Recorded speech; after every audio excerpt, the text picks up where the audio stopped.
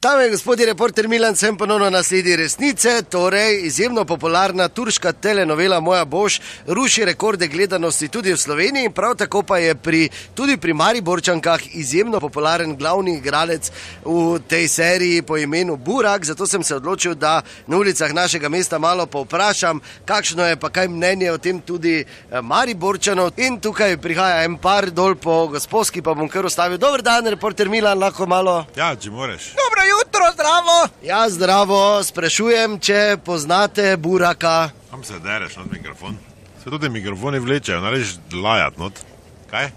A, kako pa je vam všeč eh, Burak? Ja, zdaj ga ne bi, sigurno ne v pol desetih, mislim. Malo počakaj, ker tu zdaj nimaš nikjer, gosposvetska gor, meni se zdi. Pa ne, je to še da je tako kot včeraj, ob 11. idi, ko začne svežo peč, ne? Ne Burek, eh, Burak, turški igralec v seriji Moja Bož. Kaj? Burak, Kemal, moje ime, serija, moje bo se več ko gledam. Pa zadnjič sem ti ga kazala. Jaz jaz tečem kot kokosovo maslo, na 30 stopinj, ko ga vidim. Aha, Proti koncu serije pa sem praktično spanirana, pripravljena za voljo Jezus, da sem par let mlajša. Kaj par let, da si 20 kil mlajša, kaj par let? no za to turško serijo, ja vidim. Tako, pa kaj si ti nor, ali kaj si? Pa kaj si nor, jaz tako moram na tiho imeti, na tiho moram imeti.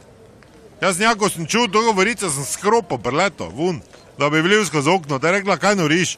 Če gledam serijo, tur, pa, če, pa to je celi svet, ja, ponorel. Kaj celi svet, mi dve s Petro smo zorele. To pa je Petra. Čerka, Le, vem, da so to zakoni, ko ne smeš tako govoriti, pa to. Samo nekaj te opozarjam. Ne nam je to vlačita not. Zdaj vaju opozarjam, ne nam je to vlačita not, pa kakšna so to merila. Kdo, zakaj vsi za burakom po- ponorijo, kaj je štajerskimi moškimi narobe, no? Hajde, da je ne vem kdo, tako so bili včasih, kdo ti švedi, pa to, kaj vem, kaj so bili, aha, moderni, blond, ne rečem. Pa smo si na lase davali to svinjarijo, da smo bili blond, pa, pa, pa črne obrvi, pa si kot butl zgledal, samo pač pa neko frizuro, da si te prišel neki štih, pa kaki burak, pa kaj ste vi zmešani, ali kaj ste. ja to je lepo, zdaj veš, pojma nimaš ti. Te pa pogledajte s Petro malo po rušnih, koliko je burakov. Se ne rajta televizije za to zijat, pa mi luftat, ker sta stekli obe, pa zraven žereta.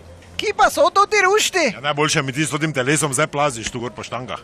A dva kredita imaš? Čuj, Jože, zdaj sem glih čitala. Mi smo se že malo prenajedli, ne biograda na moru. Januar je, januar, kam si se prenajedla? Ti si se prenajedla, ja.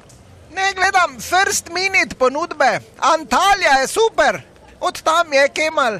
Pa Petra bi šla z nama, tako v starih časih, veš. Pa daj mi mirno. Se veš, tako včasih, pa boš Petrci ti igrat naredil iz peska, mi dva pa gremo malo vun plavat. Glih toliko, da imaš ti še podn, veš. Proti Cipru, rahlo. Daj njega drugega, ti nekaj Ja, vprašaj. hvala lepa, do naslednjič ne pozabite. Jaz edini v tem mestu, pa jih vprašati malo druge. Se grem, se grem, resnica ni plenica, vendar marsikomu smrdi.